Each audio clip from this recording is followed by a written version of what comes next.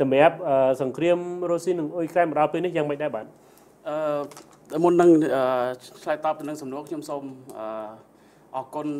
សហភាពសហព័ន្ធសហព័ន្ធមានកម្ពុជាដែលផ្ដល់កិត្តិយសឲ្យខ្ញុំអឺចូលរួមជាវាគ្មិននៅក្នុងវេទិកាមតិសាធារណៈថ្ងៃនេះទៅលើប្រធានបទពាក់ព័ន្ធនឹងវិបត្តិនៅអ៊ុយក្រែននិងដំណោះស្រាយដែលអាចកើតមាននៅពេលអនាគតចំពោះសំណួរ ឆ្លើយតបនឹងសំណួរខ្ញុំ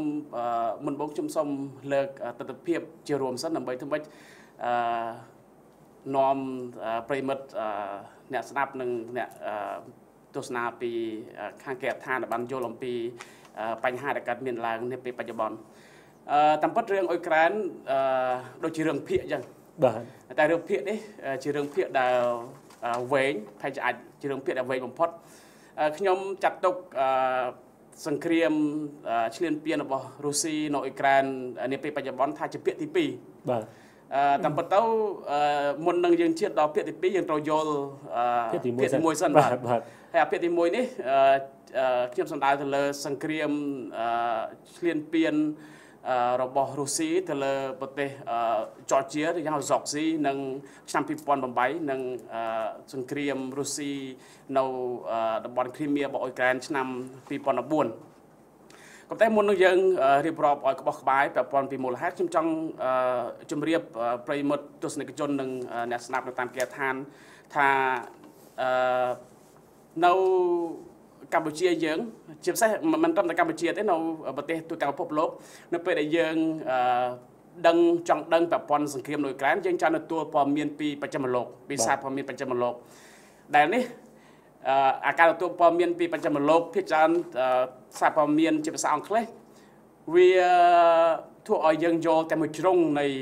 ឫសគល់នៃសង្គ្រាមទេហើយនិយាយទៅវានិន្នាការប្រទេសណាវាដាក់ផ្សាយទៅប្រទេសនោះចឹងបាទបាទ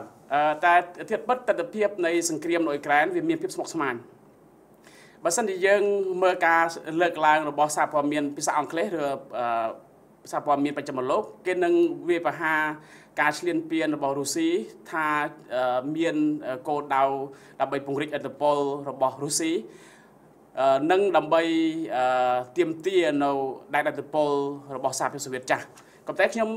ក្នុងវេទិកាសាធារណៈនេះខ្ញុំស្នើជ្រុងមួយទៀតដែលមិនឋានសាធារណៈភាគច្រើនអាចនឹងមិនបានទទួល គឺពាក់ព័ន្ធទៅនឹងមូលហេតុឬរកលនៃសង្គ្រាមនៃការសម្រេចចិត្តរបស់ប្រធានាធិបតីវ្លាឌីមៀពូទីនរបស់រុស្ស៊ីក្នុងការឈ្លានពានប្រទេសអ៊ុយក្រែន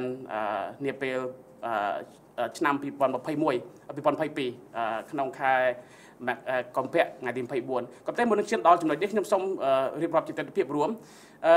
យើងមើលអំពីផលវិបាកនៃសង្គ្រាមដែលកើតមានចិត្តមួយឆ្នាំនេះយើងឃើញមានផលប៉ះពាល់ធ្ងន់ធ្ងរមិនមែនចំពោះតែប្រទេសអ៊ុយក្រែនទេរុស្ស៊ីក៏ទទួលផលប៉ះពាល់ខ្លាំងខ្លាំងណាស់ដែរប្រទេសទាំងពីរខាត់បង កងទ័ពមិនតិចជាងមួយសែនអ្នកទេក្នុងទាំងប្រទេសទាំងពីរអឺព្រមទាំងអាវុធយុទ្ធឧបករណ៍និងការចំណាយទៅលើការធ្វើសង្គ្រាមអឺយើងមើលអ៊ុយក្រែនសេដ្ឋកិច្ចបានធ្លាក់ចុះជាង30%កំណើនសេដ្ឋកិច្ចធ្លាក់ចុះអឺហើយប្រជាពលរដ្ឋច្រើនជាង30%ត្រូវបានភៀសខ្លួនចម្លៀសទៅទីតាំងនានា ចំណែកប្រព័ន្ធគ្រប់គ្រងអគិសនីក៏ត្រូវបានរអាក់រអួលឬក៏បំបិតដោយសារតែបញ្ហាសង្គ្រាមយើងមើលផលវិបាកចំពោះរុស្ស៊ីវិញរុស្ស៊ីរងផលប៉ះពាល់ដោយសារតែតនកម្មពីបច្ចិមលោកនិងប្រទេសដែលមានកំណត់ដូចនឹងបច្ចិមលោកអឺរុស្ស៊ីដូចគ្នាក៏ទទួលផលផលប៉ះពាល់ទៅលើតំណែងទម្រង់ការទូតរបស់ខ្លួនជាមួយនឹងប្រទេសនានាដែលធ្លាប់តែជិតស្និទ្ធន មុនការប្រកាសសង្គ្រាមឆ្នាំ2022អឺខ្ញុំបញ្ចប់ត្រឹមនេះសិនចាំយើងនឹងបកស្រាយក្បោះក្បាយខាងមុខទៀតដើម្បីយើងមើលទស្សនវិជ្ជានៃសង្គ្រាមដែលកើតមាននាពេលបច្ចុប្បន្នបាទ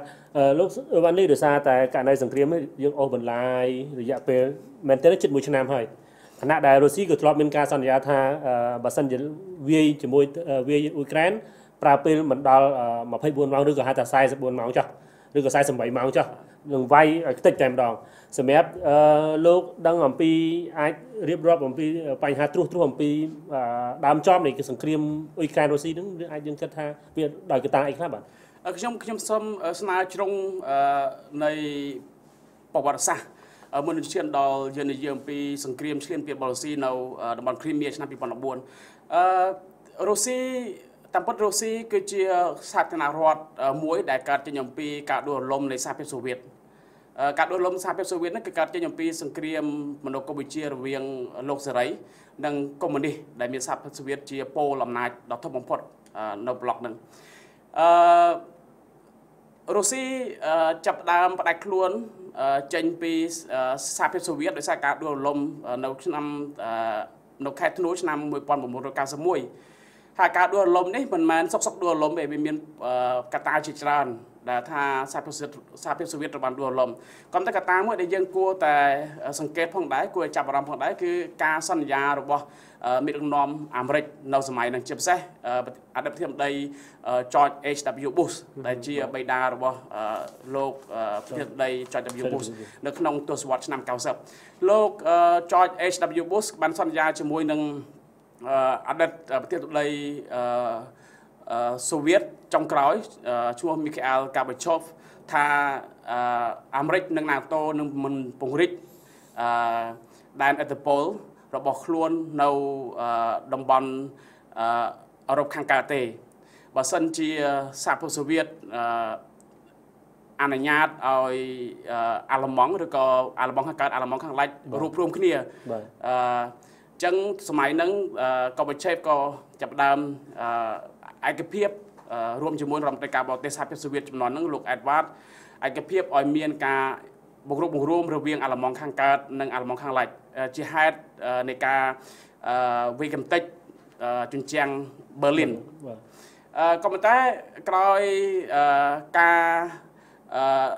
ដួលរលំសហភាពសូវៀតលោកកូបេឆេវចាប់បានមានការអអន់ចិត្ត ដោយសារតែក្រោយដួលរលំឆ្នាំ91រុស្ស៊ីคล้ายជាប្រទេសដែលទទួលបានផលប្រយោជន៍ពីការដួលរលំហ្នឹងហើយអាមេរិករួមជាមួយនឹងបច្ចិមលោកនិងសម្ព័ន្ធភាពយោធារបស់ NATO នៅតែបន្តពង្រីកដែនអធិបតេយ្យរបស់ខ្លួននៅក្នុងតំបន់ដែលរុស្ស៊ីចាត់ទុកថាជាតំបន់ស្របតបទ្រនាប់ buffer zone ដែលជាតំបន់ខណ្ឌចែក ប្រមទល់រវាងរុស្ស៊ីជាមួយនឹងបច្ចិមលោកយើងមើលអំពីទស្សនវិជ្ជានៃការពង្រីកដែនអធិបតេយ្យរបស់ NATO ក្រោយឆ្នាំ91ឃើញថា NATO និងអាមេរិកជាយាមដាក់បញ្ចូលប្រទេស ដែលជាអតីតសាធារណរដ្ឋរបស់សហភាពសូវៀតឲ្យចូលជាសមាជិក NATO ត្រឹមឆ្នាំ91ដល់ឆ្នាំ97មានប្រទេសដែលជាអតីត បំបែកចេញអំពីសហភាពសូវៀតនឹងចូលជាសមាជិក NATO ច្រើនដែរហើយក៏ចូលជាសមាជិករបស់សហភាពអឺរ៉ុបច្រើនដែរចំណែកក្រោយឆ្នាំ97អឺ NATO ចាប់ដើមអឺដាក់បញ្ចូលសមាជិកអតីតប្រទេសស្ថិតនៅក្រោមសហភាពសូវៀតនឹងចូលទៅរហូតដល់14ប្រទេសក្នុងនោះប្រទេសដែលជាប់ព្រមទល់ជាមួយនឹងរុស្ស៊ីមានអេស្តូនីឡាតវីលីធូនីប៉ូឡែនជាដើមឲ្យចូលជាសមាជិករបស់ NATO ដែល ហេតុអីបានសំណួរសួរថាហេតុអីបានរុស្ស៊ីគាត់មិនឆ្លើយតបទៅនឹងការពង្រីកដែនអធិបតេយ្យរបស់ NATO និងសហភាពអឺរ៉ុបនៅសម័យហ្នឹងបាទអឺមូលហេតុអឺដោយសារតែរុស្ស៊ីក្រោយការដួលរលំសហភាពសូវៀតរុស្ស៊ីនៅទន់ខ្សោយណាស់អឺប្រធានាធិបតីមុនដំបូងរបស់រុស្ស៊ីលោក Boris Johnson Boris Yeltsin អត់មានសមត្ថភាពគ្រប់គ្រាន់ក្នុងការឆ្លើយតបទៅនឹងការពង្រីកអធិបតេយ្យរបស់អាមេរិកនិង NATO នោះទេ បានត្រឹមតែទទូចនឹងទៀមទាអឺកុំឲ្យ NATO និងអាមេរិកពង្រីកដែនអធិបតេយ្យបាទអឺក្រោយមកអឺរ៉ុបហើយនិងអាមេរិកអឺបន្តពង្រីកដែនអធិបតេយ្យរហូតដល់ឆ្នាំ2008អឺអាមេរិកហើយនិង NATO បានប្រកាសថាប្រទេសហ្សុកស៊ីនិងអ៊ុយក្រែននឹងក្លាយជាសមាជិកសម្ព័ន្ធភាព NATO ចំណុចត្រង់នេះធ្វើឲ្យលោកពូទីនមានការខឹងសម្បាយ៉ាងខ្លាំងបាទអឺយើងមើលទស្សនវិជ្ជានៅពេលហ្នឹងមុនឆ្នាំ2008មុនកិច្ចប្រជុំកម្ពុជាអឺមេដឹកនាំ NATO នៅប្រទេសរ៉ូម៉ានីទីក្រុងប៊ូការេស្តឆ្នាំ2008លោកពូទីនធ្លាប់បានចូលរួមកិច្ចប្រជុំសន្និសិទសន្និសុខទីក្រុងម៉ូនិចនៅ រដ្ឋបូលីវីប្រទេសអាល្លឺម៉ង់លោកបានប្រកាសក្តែងក្តែងឲ្យមានដឹកនាំបច្ចិមលោករួមទាំងអាមេរិកថាការពង្រីកដែនអធិបតេយ្យរបស់ NATO ចូលទៅដែនត្រណប់ buffer zone ដែលរុស្ស៊ីចាត់ទុកថាជាបែកយ៉ាតរបស់ខ្លួន ជាសួនច្បារក្រោយផ្ទះរបស់ខ្លួន ជាបន្ទាត់ក្រហមរបស់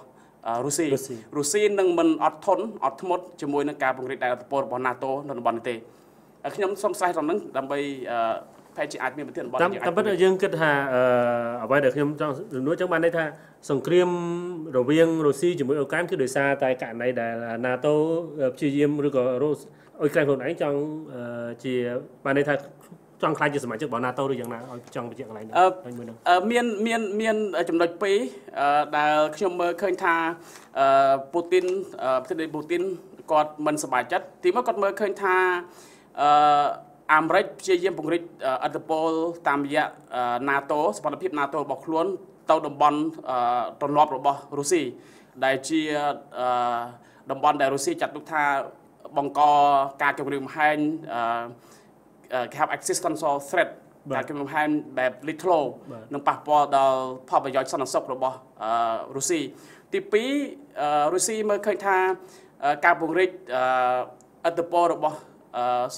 សហភាពអឺរ៉ុបបាទបាទអឺអាមេរិកជាមួយនឹងអឺរ៉ុបក៏ព្យាយាមពង្រីកដែនឥទ្ធិពលតាមរយៈការផ្លាស់ប្ដូររបបគ្រប់គ្រងអឺនៅក្នុងបណ្ដាប្រទេស ដែលមានតំណែងជិតដិតជាមួយនឹងរុស្ស៊ីយើងក៏លេចមើលប្រទេសពីរអឺហ្សុកស៊ីយើងនៅឆ្នាំ2003អឺប្រទេសដីហ្សុកស៊ីដែលមាននិន្នាការជិតដិតជាមួយនឹងរុស្ស៊ី ព្យាយាមរក្សាទុននីតិរបស់សុកស៊ីឲ្យជាប្រទេសជាក្រិតអឺមិនទទួលដែនឥទ្ធិពលរបស់ NATO ដោយសារតែអឺប្រធានាធិបតី Edward គាត់មើលឃើញថាបើសិនជាសុកស៊ីចូលជាសមាជិករបស់ NATO រុស្ស៊ីនឹងឈ្លានពានក៏ប៉ុន្តែដោយសារតែប្រធានាធិបតី Edward គឺជាប្រធានាធិបតីដែលគេមើលឃើញថាទីក្រុងវាមានក្រមកម្លាំងអ្នកលើកបន្ទប់ចឹងហើយអឺរ៉ុបហើយនិងអាមេរិក ចាប់ផ្ដើមបង្កើតឲ្យមានបដិវត្តពណ៌ដែលហៅថា Rose Revolution នៅ Zoxy ឆ្នាំ2003អឺចាប់ផ្ដើមផ្ដួលលំរបបអឺដែលលើកបន្ទប់ដោយរុស្ស៊ីនៅឆ្នាំ2008ឆ្នាំ2004ដូចគ្នានៅយូក្រែននៅអ៊ុយក្រែនប្រទេសដីដែលគេមើលឃើញថាលើកបន្ទប់ដោយ រុស្ស៊ីក៏តែមានការបោះឆ្នោតស្របតាមលទ្ធិប្រជាធិបតេយ្យទីដីវីកតូយូណូកូវិចទៅបានគេបដូរលំតាមបដិវត្តកៅ Orange Revolution បដិវត្តទឹកក្រូចដូមលំរបបដែលមានភាពជិតដិតជាមួយនឹងពូទីនពូទីនគាត់មើលឃើញថាជាយុទ្ធសាស្ត្ររបស់អឺរ៉ុបនិងអាមេរិកក្នុងការបញ្ជ្រាបនិងពង្រីកដែនឥទ្ធិពលរបស់ខ្លួននៅក្នុងតំបន់ប្រណប់របស់ ពូទីនដែលជាហេតុពូទីនគាត់ចាប់ដើមប្រកាសសង្គ្រាមឆ្នាំ2008នៅសុកស៊ីហើយឆ្នាំ2004គាត់ចូលទៅឃ្លានពានកាន់កាប់តំបន់គ្រីមៀអានេះជាមូលហេតុរឿងរុកលនៃសង្គ្រាមដែលឈានដល់ការប្រកាសសង្គ្រាមដែលរុស្ស៊ីហៅថា Special Military Operation ប្រតិបត្តិការយោធាពិសេសនៅឆ្នាំ2022បាទ